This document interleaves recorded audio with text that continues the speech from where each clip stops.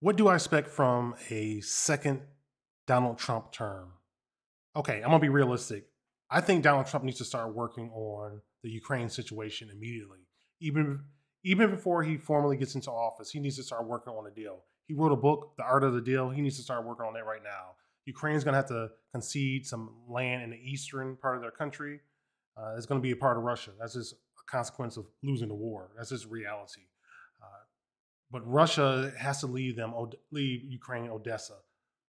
That way, Ukraine can have access to the sea. They can get some of their import, they get some of their goods out and put it on the trade market.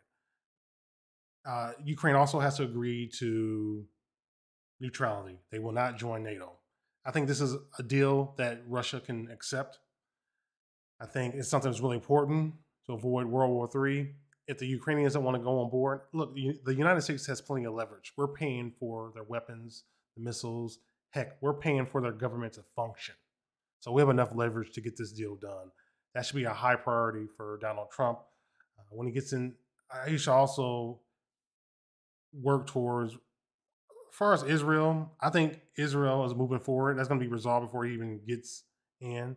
But uh, he can use leverage on both sides with Iran. Hey, you want us to give give you some military action?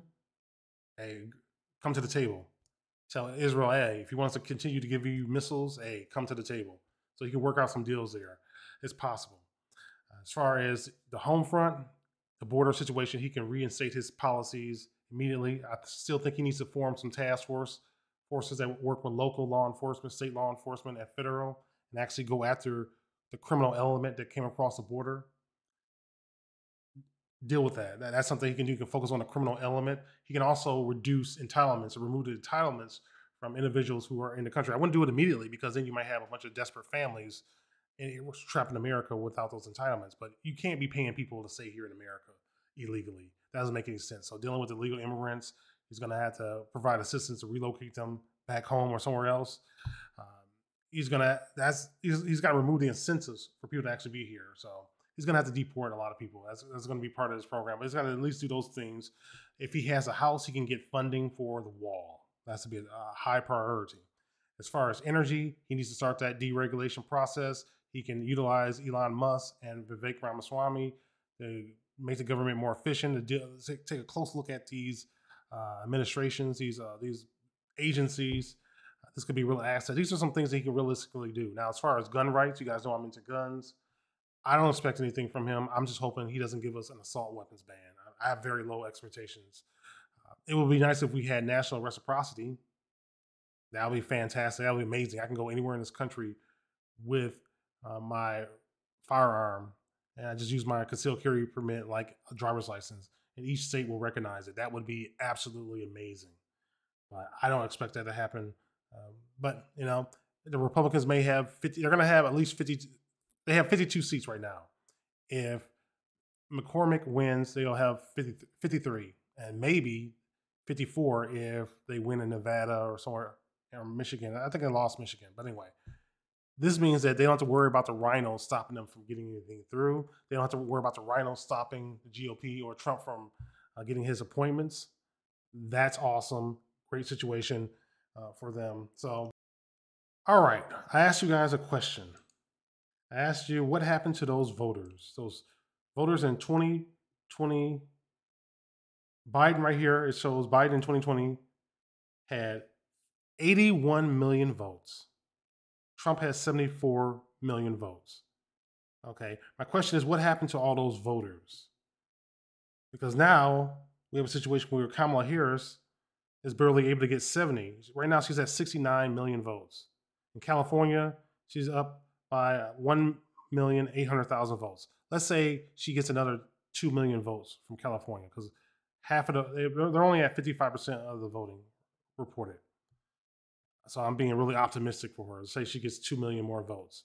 That brings her to 69.7 million votes. Right now, Trump has 72.4 million votes.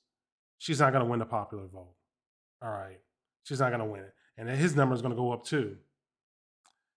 So the question, it looks like he's going to have somewhere a number that's pretty close to 2020.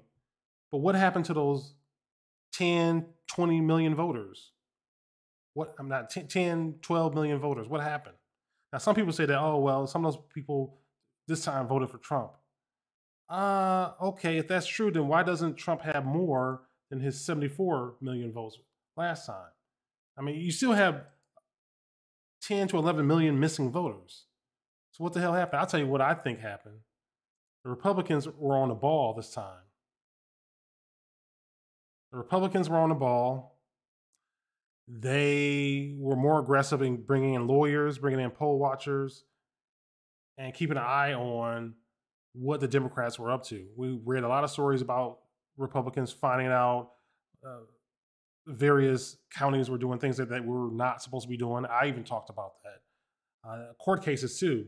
Court cases that prevented uh, a lot of non citizens from voting. Court cases that limit the foolishness with the mail in ba- ballots when they can be received. Could they be, received after the election? A lot of that.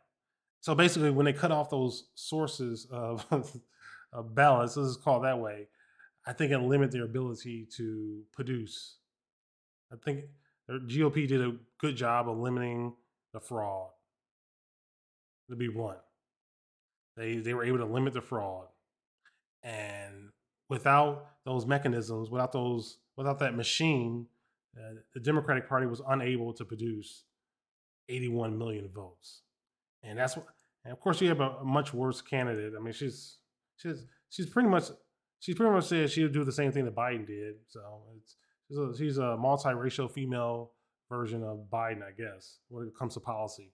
But what you're dealing with is a situation where uh, this is just what's normal. I mean, her numbers look about the same as Obama's. Obama in 2008, he had about 69 million votes, over 69 million votes. 69 million votes in 2008. Here we are in 2024, and she's struggling to get to that. And the previous year, Biden had 81 million. It doesn't look good. And it's really hard to spin this. But anyway, just want to give you guys a quick little update on some of the things that I've been up to.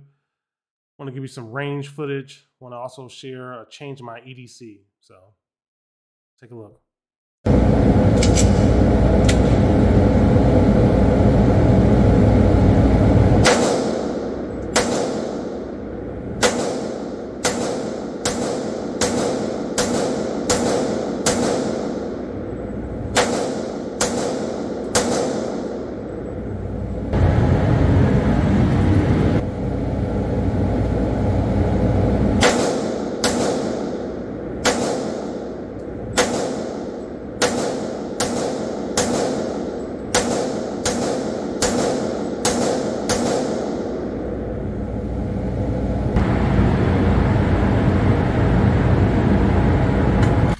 All right, I made some additions to my everyday carry. I'm actually carrying this uh, knife on my person every single day. I, I, just think it's really useful to have a knife around. I know I carry enough stuff, but I want to go with a nice, cost-effective knife. I, I, I wanted something that would work, but something that wasn't so expensive that I would worry about losing it. Another thing, I used to carry a resqme a long time ago. Now, I, when I carry stuff, I carry it every day, so it gets abused. So this is made out of plastic, has a little blade in here. I can use this to cut your seatbelt. You press this part up against glass, and a little striker comes out. A little piece of metal just pops out. It's, it's connected to a spring. It just pops out and it shatters the glass. So if you're in an accident or if you want to rescue somebody who's trapped in a vehicle, you can use this to shatter the glass and you can also use this part right here to cut the seatbelt to get the, get the person out of there.